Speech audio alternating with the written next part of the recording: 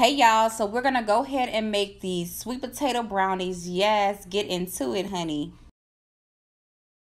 So first you're gonna take about two small sweet potatoes and boil them. Once the sweet potatoes have boiled, you wanna take a blender. I was gonna use my NutriBullet, but I just decided to use a regular blender. Gonna put the sweet potatoes in, and we're ready to add in all of the other ingredients. Now this brownie is actually all vegan. This is cocoa powder, baking cocoa powder, and you would need a fourth cup of cocoa powder. And I used a nut butter. And I used half cup of nut butter. I melted it. And next, we're to put in a half cup of agave.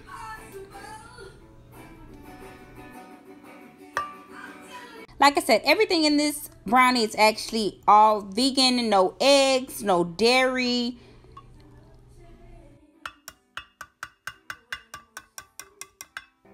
I actually added in just to give it a little bit of protein, just a little bit, some chia seeds. I love throwing in chia seeds.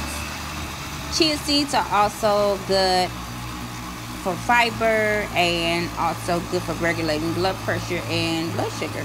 And also, it's an appetite suppressant. So, look at that. Brownies and an appetite suppressant. Can't beat that.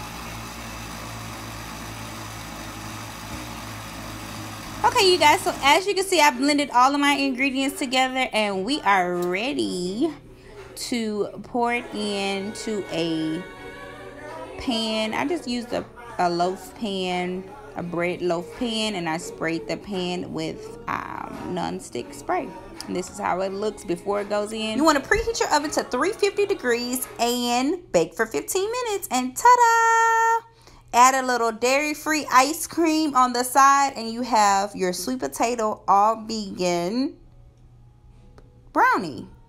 I'm so excited, you guys. It's so good.